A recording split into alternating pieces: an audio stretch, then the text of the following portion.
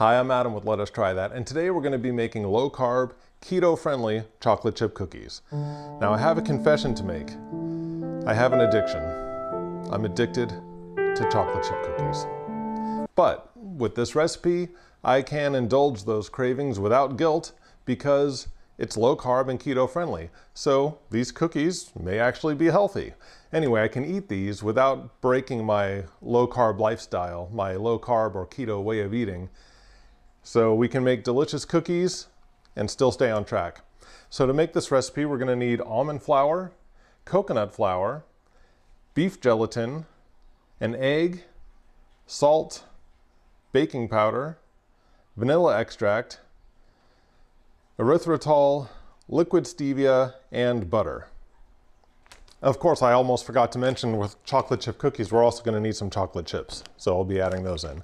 Now, if there are any of these ingredients that you don't have at your local grocery store, I'll be putting links to where you can get them too in the description below this video. So for things like the beef gelatin, possibly the low carb chocolate chips, things like that, there will be links below this video. You're gonna need two bowls. Um, these are pretty much the same size, but if one's larger than the other, we'll start with the smaller one and we'll start by putting in some almond flour. And we'll need one and a quarter cups of almond flour.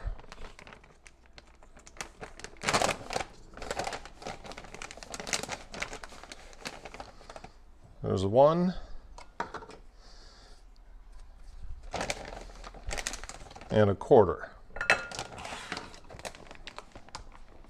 And we'll also need one and a half tablespoons of coconut flour.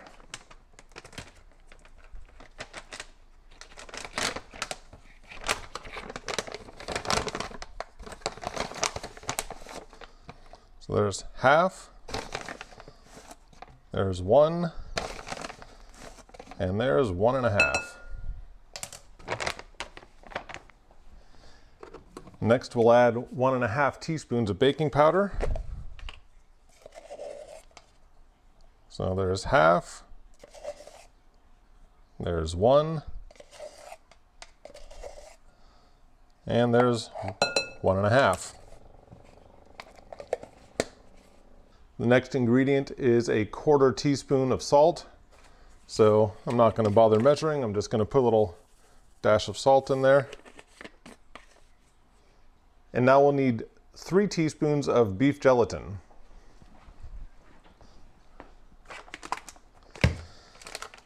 The gelatin is important because it gives it sort of a chewiness that you would expect in a cookie. Without the gelatin, it's very, very crisp. Now I like a crisp cookie. You bite into it and it breaks apart, but it's super, super brittle without the beef gelatin. One, two, three.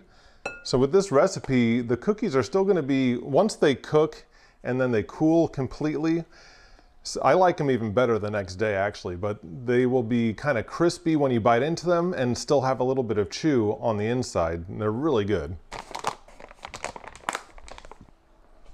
So now we'll just whisk that together a little bit and then we'll start adding the other ingredients into the other bowl.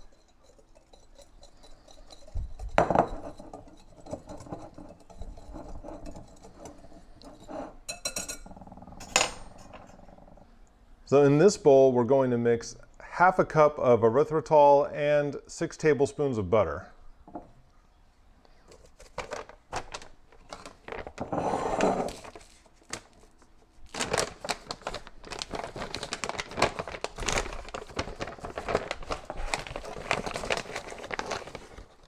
So that's a quarter cup.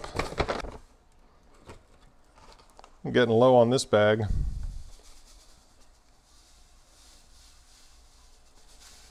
I think that's pretty much uh, the rest of the bag there. It's going to be a half a cup.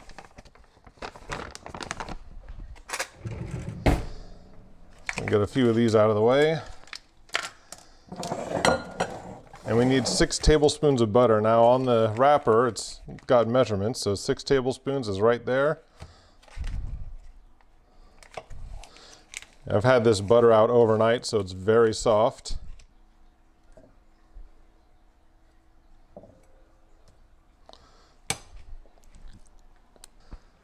Okay, so I want to mix the erythritol and the butter together. We'll get this out of the way.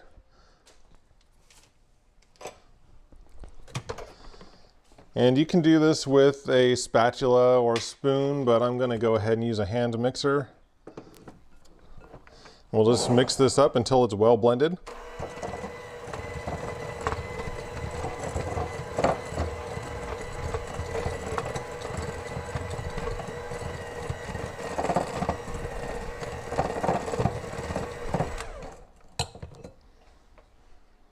Next we'll add an egg, a teaspoon of vanilla extract, and 30 drops of liquid stevia.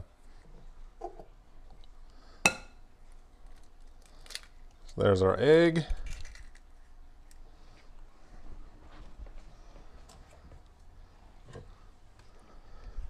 The very large bottle of vanilla extract, because that's how they do it at Costco. Everything in bulk. So there's a teaspoon of vanilla extract and then 30 drops of liquid stevia.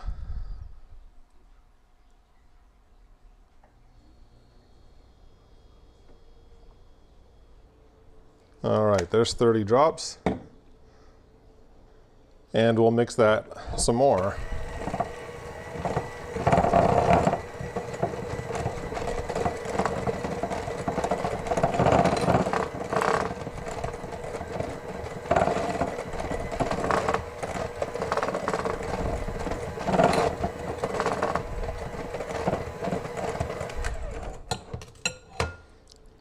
So next we'll add the dry ingredients to the wet ingredients. We'll mix that some. We'll add in the chocolate chips and mix it some more.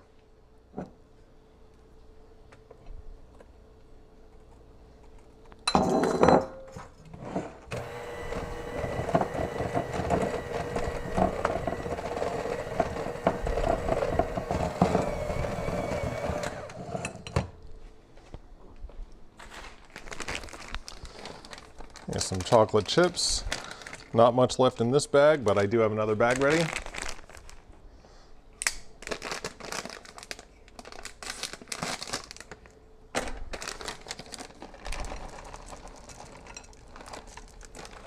I don't bother measuring the chocolate chips. I just kind of eyeball it, put in as many as I think I will need.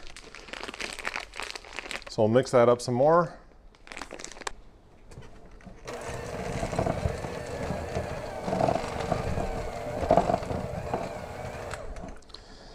Now that everything's well mixed, I'm going to unplug this for safety before I start sticking my fingers in there. I want to get all the dough out of my little blender attachments here. But with this dough, I'm going to put this in the refrigerator for about 10 minutes. And that's also a good time to start preheating the oven. So I'll preheat the oven to 350 and right around the time that's preheated, I can take this out and start putting them on a cookie sheet.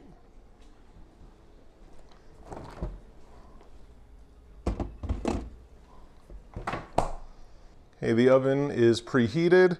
The dough has been chilling in the refrigerator for a little while. Now it's time to start loading the dough onto the baking sheet. Now you could grease your baking sheet with butter. You could spray it with cooking oil or you can line it with a piece of parchment paper.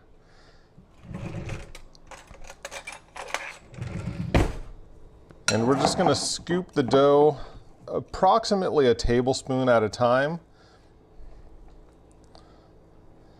And then put a little dough ball onto the baking sheet. And we wanna space out each dough ball a couple of inches apart. And we'll just repeat this until the baking sheet is full.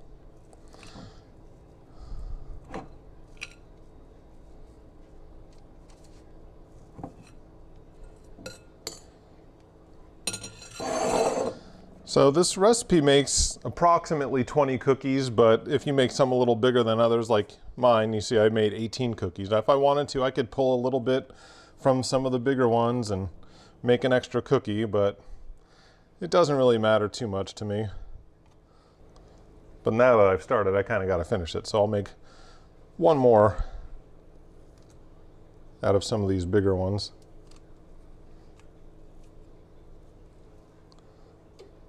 So there I ended up with 19 cookies. And we can squish these down a little bit. Not too much, but into something like that, like a little cookie shape.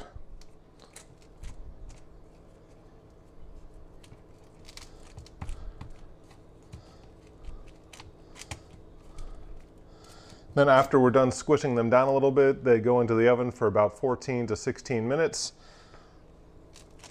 And you can just keep an eye on them and when they look done, pull them out. So 350 degrees for 14 to 16 minutes.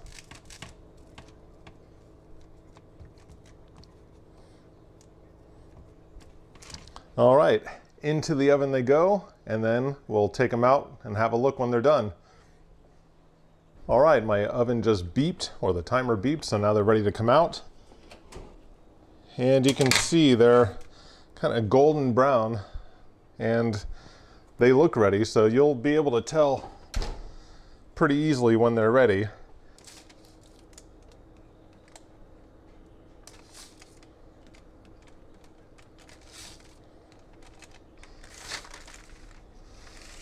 So they'll certainly cool off faster on a wire rack than they will on the baking sheet. And that's a good thing because I'm anxious to eat them, but they need to cool first. So I'm gonna let them cool for a little while, then I'm going to dig in. So that's how we make keto-friendly, low-carb chocolate chip cookies. Now these may not taste exactly like what you're used to if you're eating cookies, regular cookies with white flour and sugar and all of that but they are pretty darn good. I like them quite a bit. If you like this video, please give it a thumbs up, leave a comment, subscribe, all that good stuff. If you try these, leave a comment and let me know if you liked it. If you don't like it, go ahead and leave a comment and let me know. I'd be interested to hear your opinions if you try this recipe. I think it's pretty good, but everyone's taste is a little bit different. Anyway, that's it for this video. If you want to help me out, it would be great if you could share this video on social media, Twitter, Facebook, email, whatever. Go out on the street and tell people, go door to door, knock and tell them they should watch this. Anyway, I hope you like these cookies as much as I do. Thanks for watching, and I'll see you next time.